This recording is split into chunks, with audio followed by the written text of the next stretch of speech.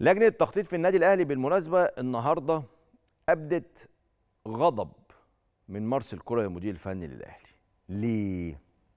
هو مش عاجبهم طول فترة الراحة السلبية اللي خدها الفريق بعد مباراة السوبر.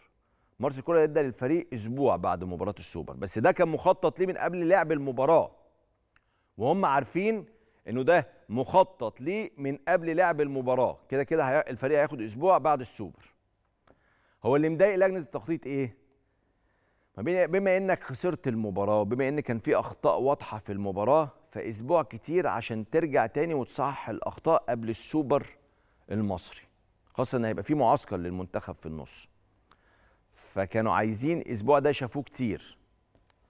بس مش حكاية يعني مش أزمة مش مشكلة. وقالوا حتى للكابتن سامي قمصان كنت حاولت تفهم مارسيل كولر أو تقنع مارسيل كولر إنه يقلل موضوع الأسبوع ده شوية. بس اللعيبة خدت الأجازة ولما صدقت. وما بكدبش عليكم يعني أنا لو مكان مارسيل كولر كنت عملت كده. لعيبة النادي الأهلي بتشمشم على يوم أجازة. من أكتر اللعيبة اللي في العالم بتلعب مباريات كتير وبتلعب آه، تقريبا السنة كلها. فكل ما يبقى في فرصة إن هم ياخدوا أجازة يديهم أجازة. حتى لو الفرقة خسرت. بس محتاجين الأجازة عشان يرجعوا يكسبوا.